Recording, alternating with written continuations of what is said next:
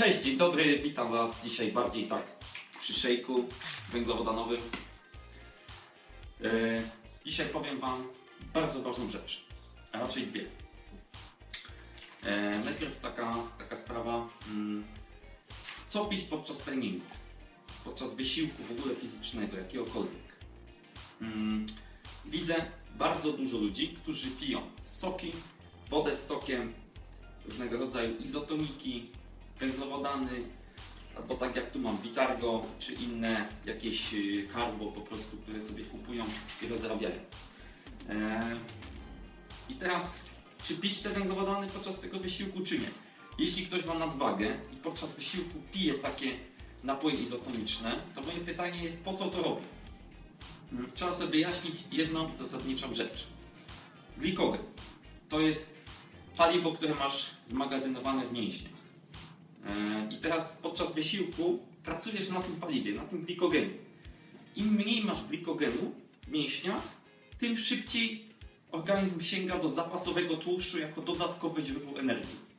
Jeśli wysiłek jest w spokojnym tempie. Natomiast jeśli ty cały czas podczas wysiłku będziesz popijał, popijała węglowodany, albo karbo, albo inne jakieś izotoniki, maltodekstryna, dekstroza, najgorsze to będą proste cukry, jakiś miód, woda, soki słodkie. E, właśnie najgorsza jest dekstroza. To ci też y, zabierze nawet energię podczas wysiłku. Będziesz miał skoki insuliny podczas wysiłku. E, to ci przeszkodzi. Ogólnie, jeśli ktoś chce mm, schudnąć, stracić wagę, spalić tkankę tłuszczową, no to musi ograniczyć te węglowodany. Ja bym proponował pić wodę. E, natomiast tutaj padnie pytanie, po co istnieją te produkty, te węglowodany?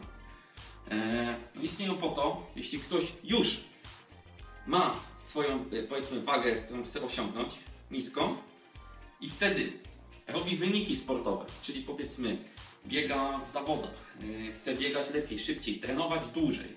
Nie zależy mu na odchudzaniu, tylko na dobrej formie, na długim treningu.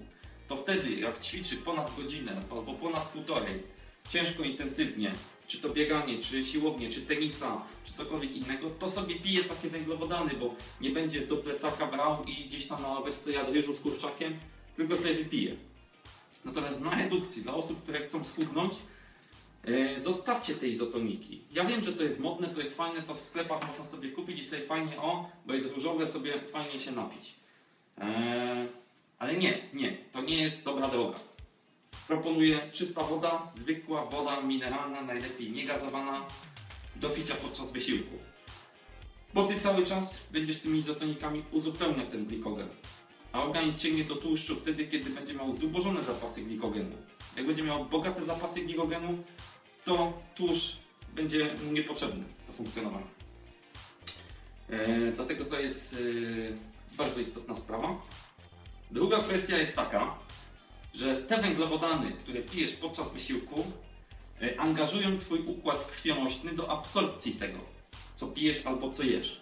Czyli, mówiąc prościej, ta krew, która powinna znajdować się w mięśniach, kiedy one pracują i dostarczać tlenu, ona w tym czasie musi być przetransportowana tutaj do okolic właśnie jelit, okolic żołądka i tak dalej, i tak dalej, celem uporania się z tymi składnikami odżywczymi, które dostarczasz w tym napoju.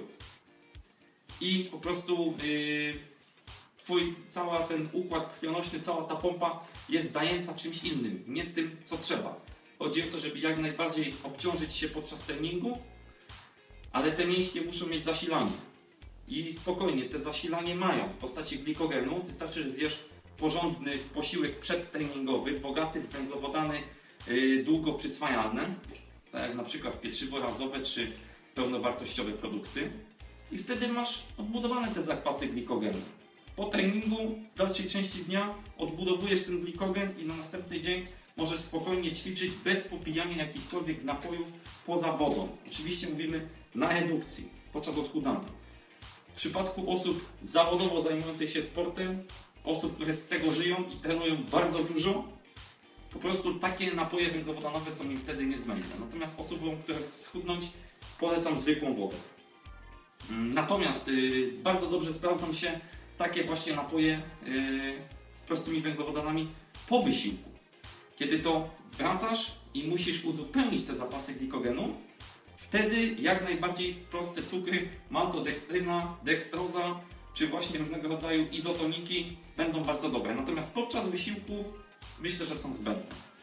Po ciężkim treningu jako uzupełnienie glikogenu, czy jako początek, zapoczątkowanie odbudowy glikogenu, bo oczywiście trzeba by dać coś jeszcze, jakiś pełnowartościowy posiłek, jakaś porcja owoców, na przykład banany, wysoki indeks glikemiczny i do popicia na przykład tych bananów, wtedy dałbym po treningu e, jakieś węglowodany do picia w postaci izotoniku.